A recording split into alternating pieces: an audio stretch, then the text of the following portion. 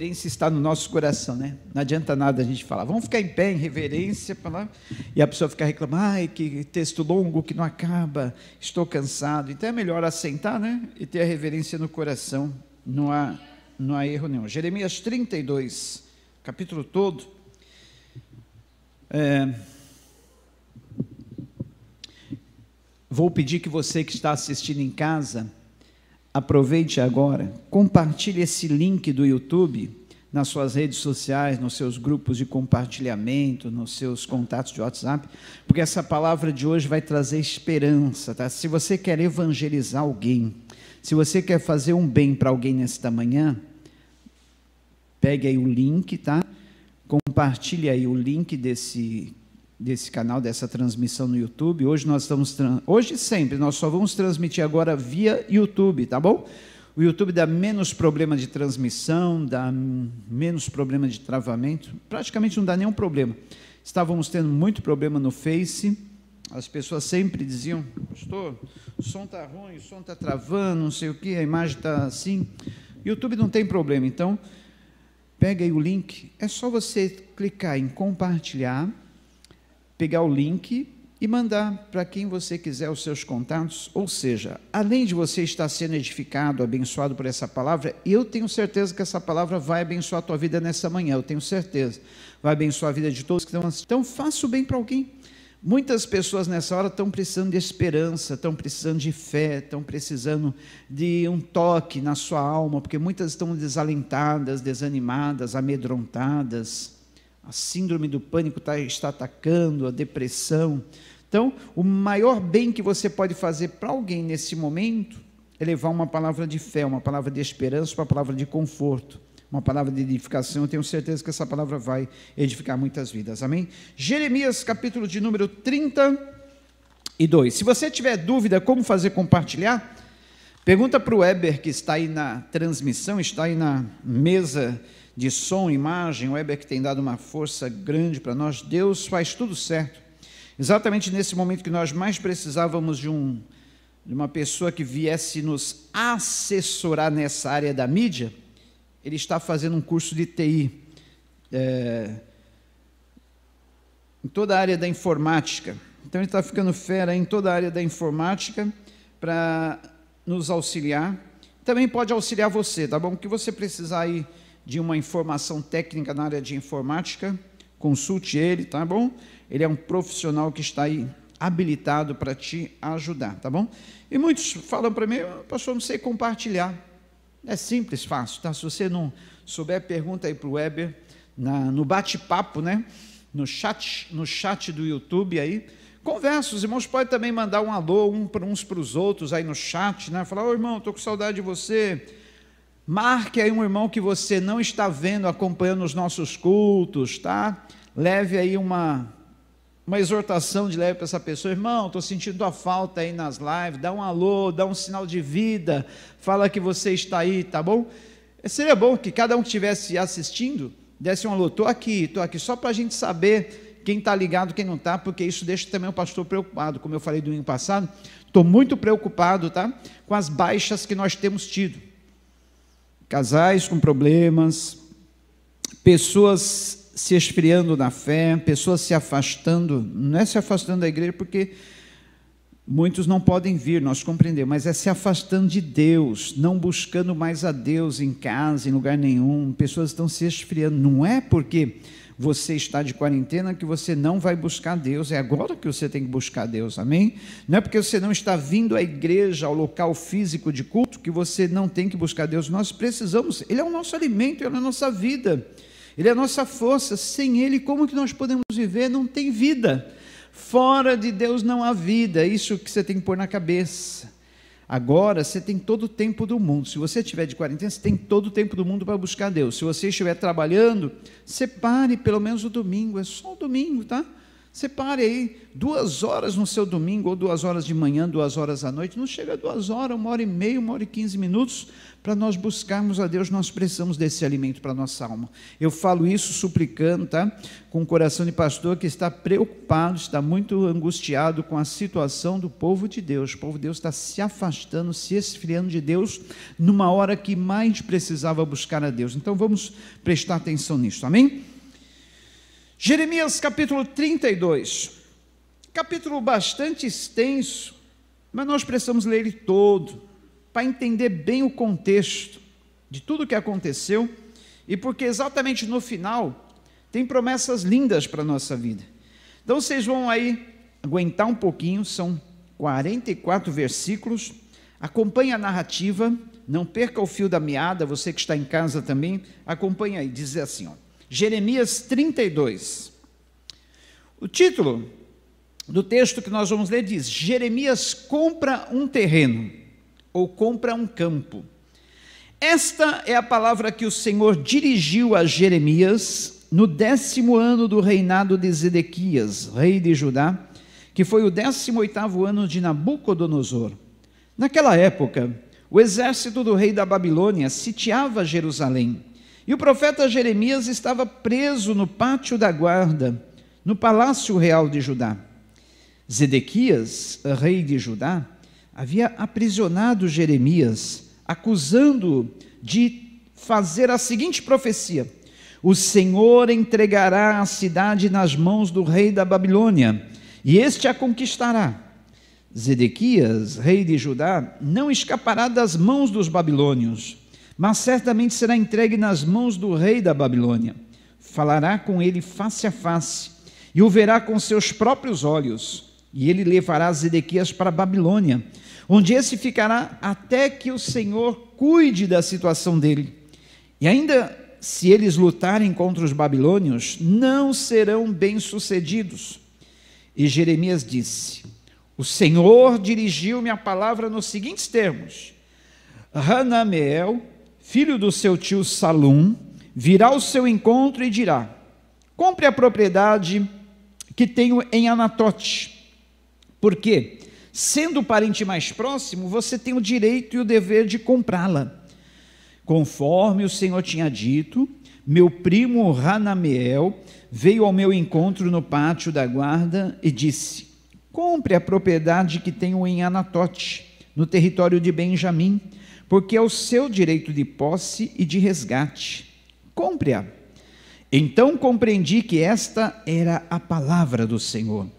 Assim comprei do meu primo Hanamiel a propriedade que ele possuía em Anatote. Pesei a prata e lhe paguei 17 peças de prata. Versículo 10. Assinei e selei a escritura e pesei a prata na balança diante de testemunhas por mim chamadas.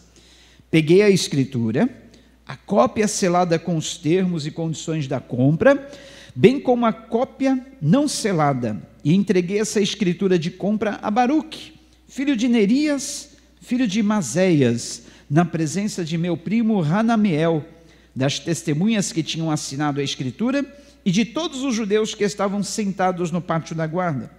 Na presença deles, dei as seguintes instruções a Baruque: Assim diz o Senhor dos Exércitos, Deus de Israel: Tome esses documentos, tanto a cópia selada como a não selada da escritura de compra. Coloque-as num jarro de barro, para que se conservem por muitos anos. Porque assim diz o Senhor dos Exércitos, Deus de Israel: Casas campos e vinhas tornarão a ser comprados nessa terra. Depois que entreguei a escritura de compra a Baruque, filho de Nerias, orei ao Senhor. Ah, soberano Senhor, tu fizeste os céus e a terra pelo teu grande poder e por teu braço estendido. Nada é difícil demais para ti. Mostras bondade até mil gerações mas lanças os pecados dos pais sobre os seus filhos? Ó oh, grande e poderoso Deus, cujo nome é o Senhor dos Exércitos. Grandes são os teus propósitos, poderosos os teus feitos. Os teus olhos estão atentos aos atos dos homens. Tu retribuis a cada um de acordo com a sua conduta, de acordo com os feitos das suas obras. Realizaste sinais e maravilhas no Egito e continuas a fazê-los até hoje, tanto em Israel como entre toda a humanidade, e alcançaste o renome que hoje tens.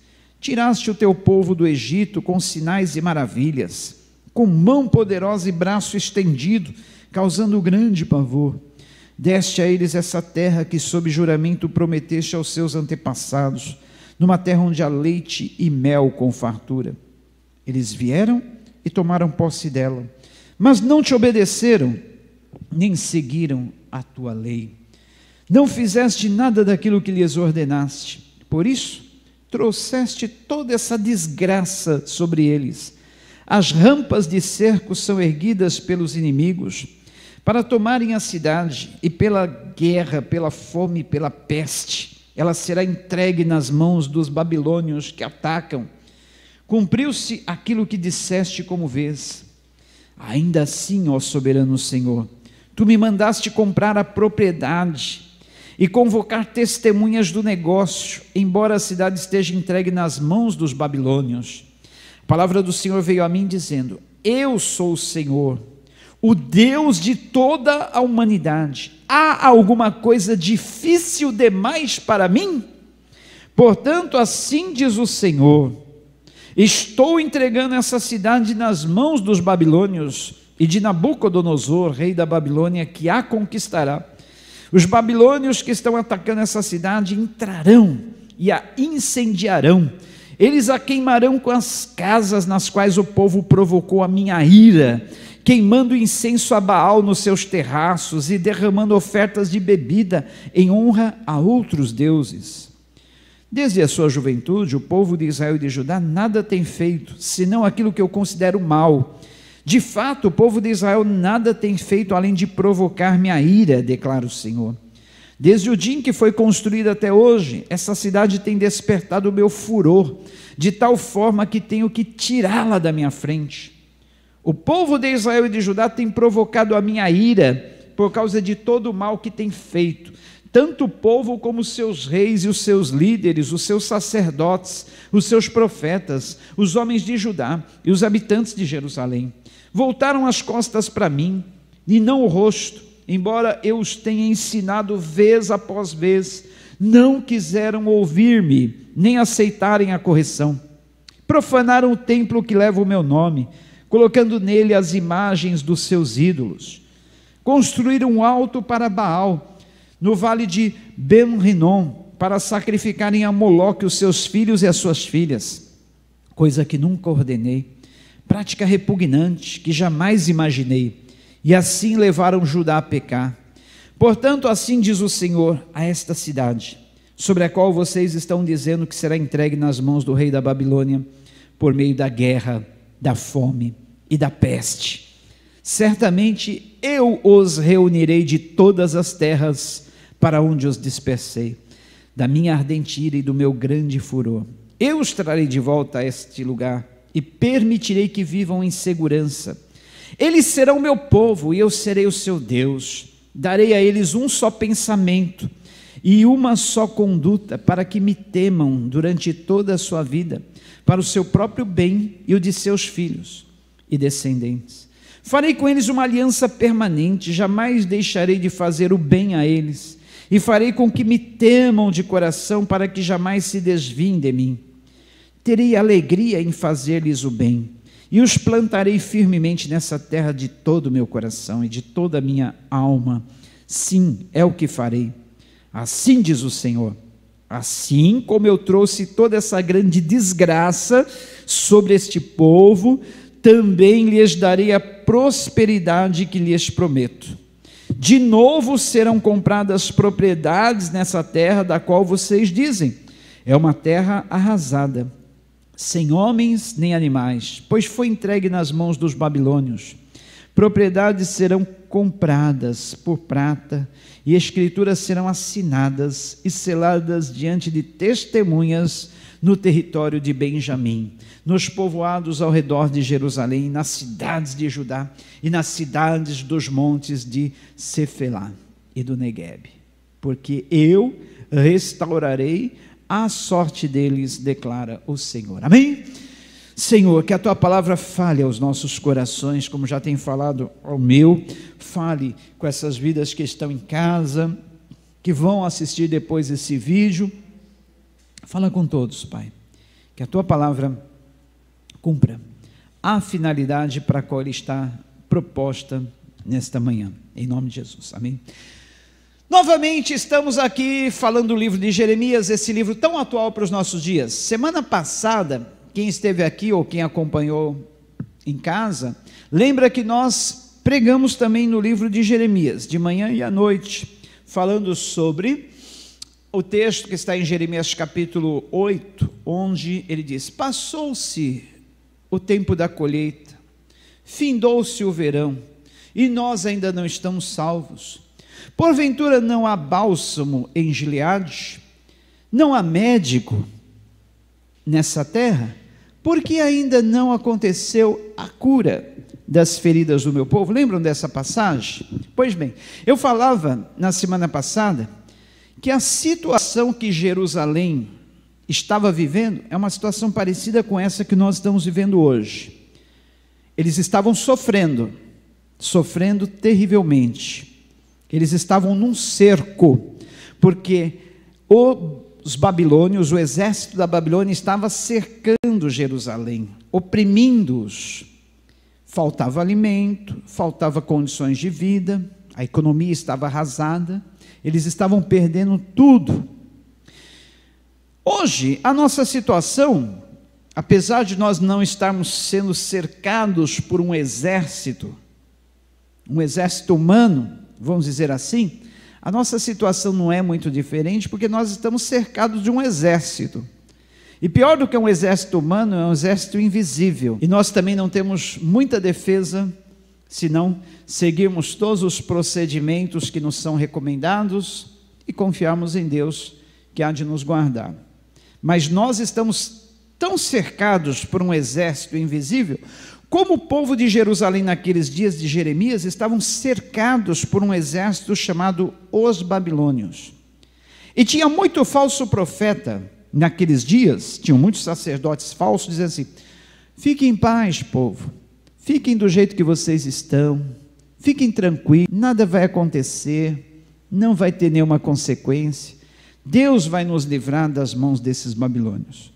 E Jeremias era o único profeta verdadeiro que dizia assim: não, esses falsos profetas, falsos sacerdotes estão errados. Todo povo pecou, todo povo tem pecado e tem colhido fruto das suas más ações.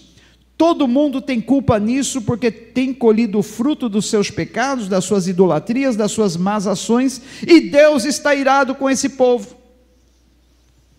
E Deus não vai dar livramento ao povo de Jerusalém enquanto eles não se arrependerem dos seus pecados, mudarem os seus hábitos, suas práticas de vida. E hoje, queridos, a situação não é diferente. Não poderíamos chegar aqui e dizer: olha, está tudo bem, está tudo tranquilo, está tudo certo, não há perigo algum. Estaríamos sendo irresponsáveis se nós transmitíssemos uma, uma mensagem assim. Não está tudo bem, não está tudo tranquilo, não está tudo normal, você sabe disso. Muitos têm padecido com esse mal. A economia do país está sendo devastada. É triste. Essa semana, andando ali pelas ruas do centro do Guarujá, vendo muitos estabelecimentos fechados. E não por causa dessa época da pandemia, fechados para sempre. Muitas lojas não vão nem reabrir. Muitos estabelecimentos vão permanecer fechados para sempre. E a situação não é diferente em Santos, não é diferente em São Paulo. Muitos estabelecimentos que antes abriam normais, hoje estão com placa, aluga-se, vende-se. E não há mais nada lá. Como ficará a nossa vida, a situação desse país, dessa nação, depois que tudo isso passar? Não sabemos. Não sabemos nem ao menos quando isso vai passar.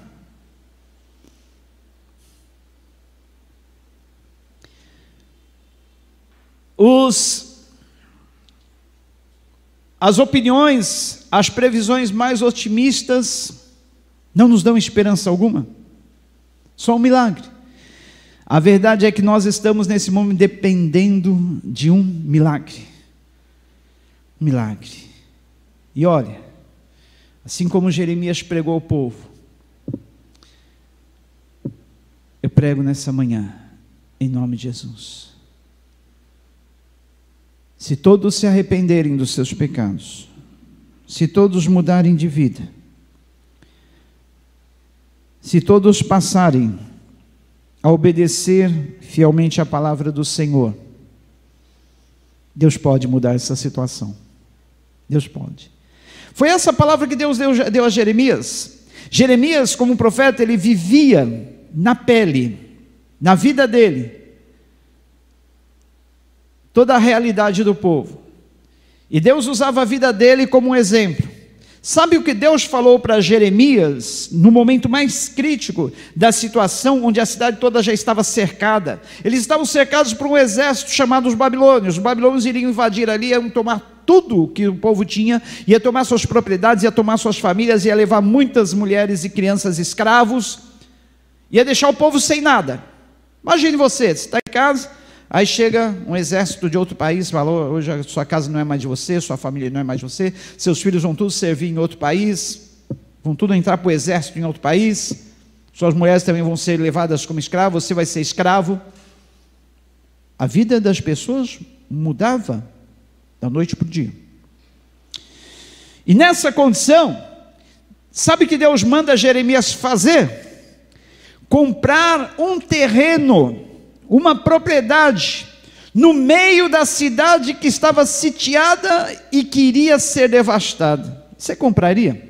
Você investiria o seu único dinheiro? De repente você tem uma única economia guardada para um tempo que você sabe que vai ser difícil, que você vai ter que ter uma reserva para sobreviver, e de repente Deus fala: não, pega todo esse dinheiro, compra um terreno, um campo, no meio da cidade que está para ser invadida, onde todos poderiam perder suas propriedades, perder as suas coisas, correr esse risco, você compraria? Só se fosse uma ordem explícita e expressa do Senhor, não é verdade? Porque em sã consciência ninguém faria isso.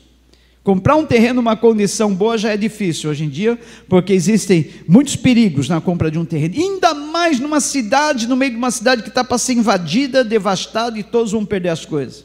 Mas Deus fala para Jeremias: compra um terreno que é da propriedade do seu primo Hanamiel. Você tem a primazia, o direito de compra sobre esse terreno e você vai comprar.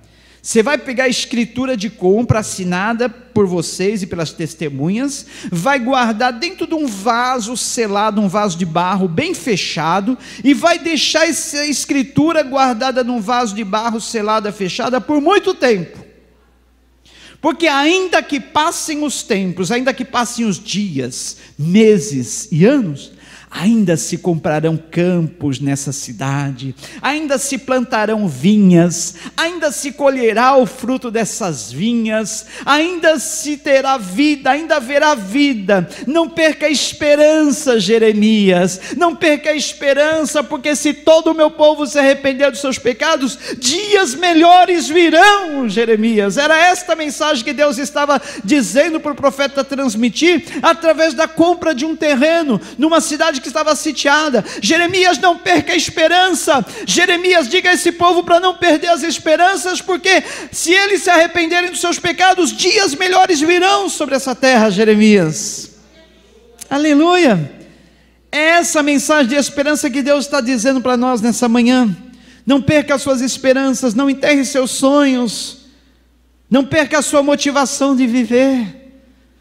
Dias melhores virão se nós nos arrependermos das nossas ações más, se nós nos arrependermos dos nossos pecados, se nós mudarmos de vida, se nós voltarmos para o Senhor, se nós deixarmos de cultuar aos deuses estranhos, aquilo que não produz livramento, se nós nos voltarmos com o nosso coração totalmente para o Senhor, dias melhores hão de vir, dias melhores hão de vir.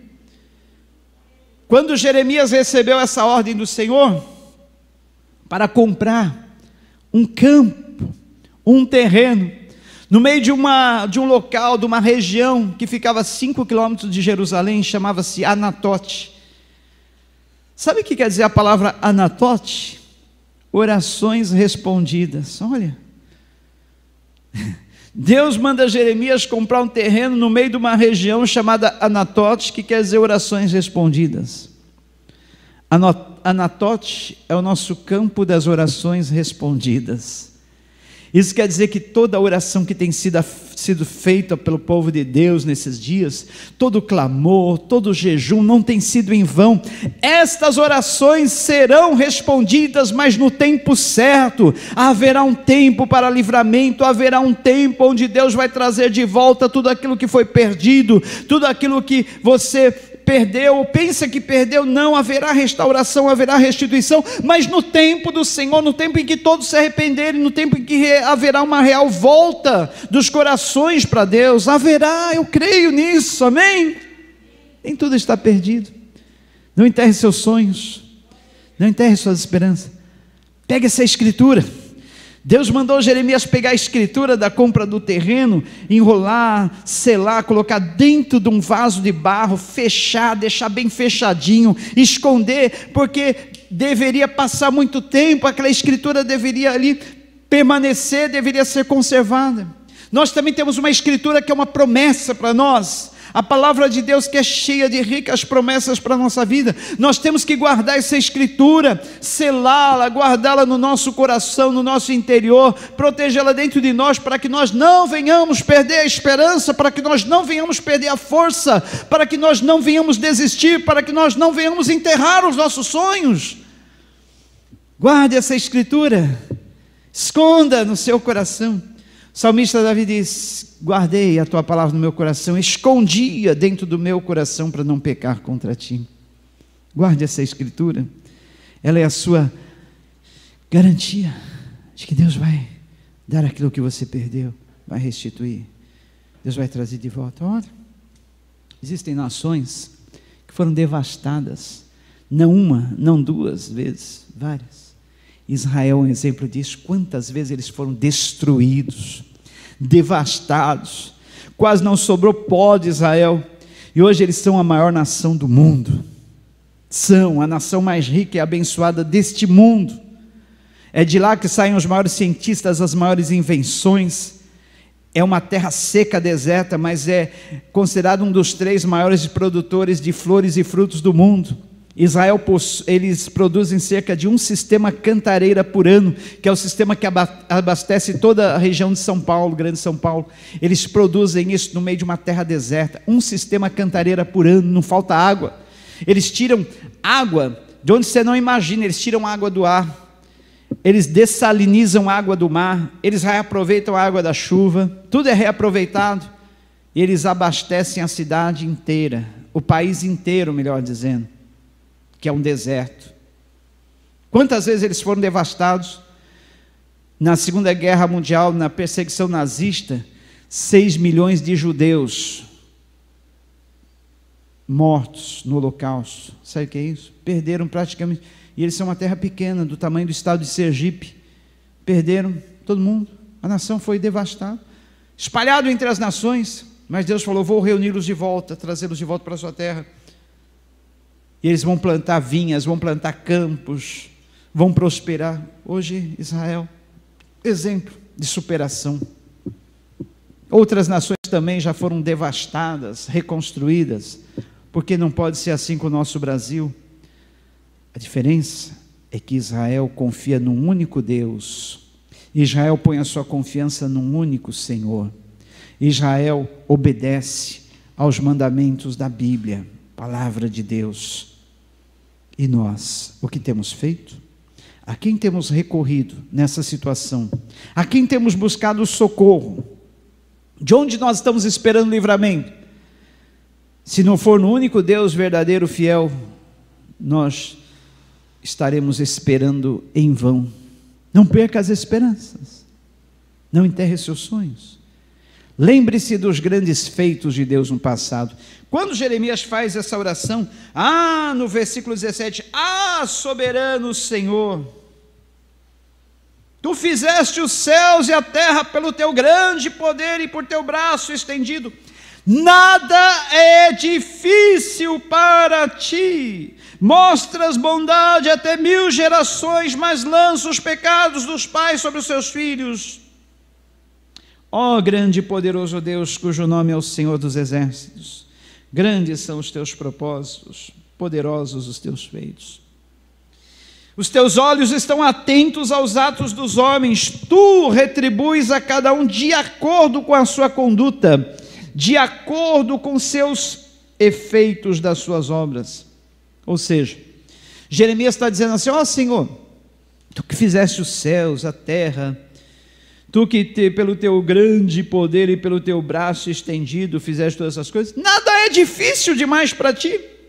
Jeremias ele fez essa declaração: nada é difícil demais para o Senhor. É isso que nós temos que lembrar. Nada é difícil demais para o Senhor. Vamos ver juntos? Nada é difícil demais para o Senhor. É difícil para o Senhor acabar com essa pandemia de um momento para outro?